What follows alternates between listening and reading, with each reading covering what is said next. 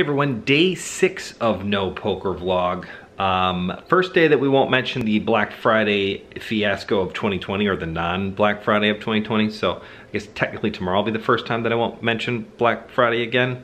It is still Thanksgiving weekend though. So typically a Saturday Thanksgiving for me means a lot of Black Friday recovery as well as um, Thanksgiving leftovers. I will say the one thing that I am most upset about, it's not missing my family or not getting to spend time with them or any of those kind of things. It's the fact that my mom normally makes so much food and Lindsay's mom normally makes so much food that I have tons of leftovers to kind of cover me through the whole weekend for food. I mean, there's nothing better than coming home um, after the poker event and just eating up some leftovers, hanging out. I definitely miss that because we have like zero leftovers whatsoever. Uh, we barely made enough turkey to kind of cover me and the kids and the wife, so really we're out of turkey, and it's really not as much fun to eat stuffing and mashed potatoes by themselves. I need that turkey to go in the middle somewhere. Um, anyways, so Saturday's normally a Thanksgiving leftovers Saturday kind of day.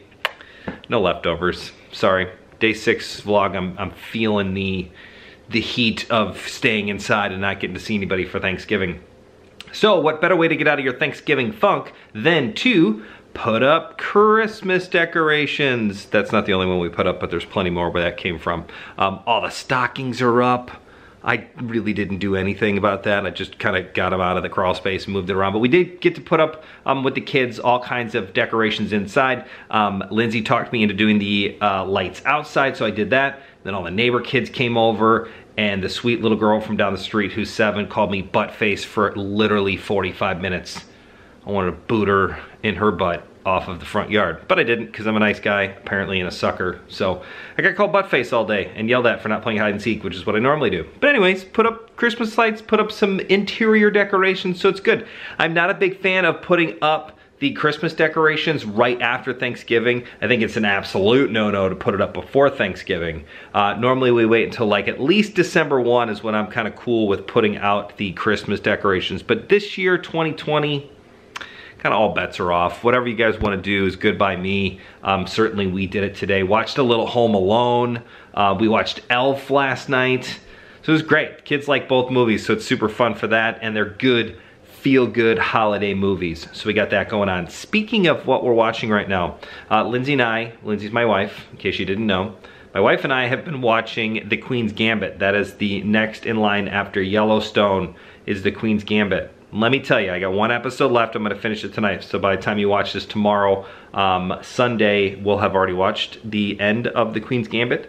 It's awesome. It starts out a little slow. I would say I'd give it like a five on episode one, but we're at like a solid nine and change right now for the end of this, uh, this limited series. I really, really hope they come out with more. I'm not quite sure how it's gonna end, but hopefully they're gonna continue it on because it's an awesome, really cool story considering it's um, about chess. You would not think a show about chess would be exciting and, um, you know, mind tingling and all that kind of good stuff, but it's great. It's super good. I think the next thing we're gonna watch after Queen's Gambit is Fargo. That is my dad's suggestion. He says it's really good. The TV series, not the movie, although I will probably watch the movie first, just to kind of get myself reacquainted with everything. Um, so Fargo's on the next bet, which brings me to the contest. We are still doing the contest, so please, please, please, leave me a comment either on Facebook or YouTube. Let us know what videos, or what videos, like anybody watches videos anymore. Let me know what TV series, movies, anything that you guys are into right now that you're watching while you're staying at home because there's really nothing else to do.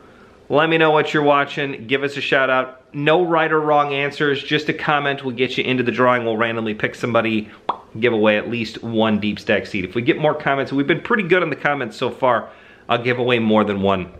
And then we'll always give away one for the um, the date or the number of days. So either the date we're gonna be back or the number of days in between November 13th, which was the last CCG event, and the next event. So if you can spike off one of those. The math will be a lot harder and something I might mix up.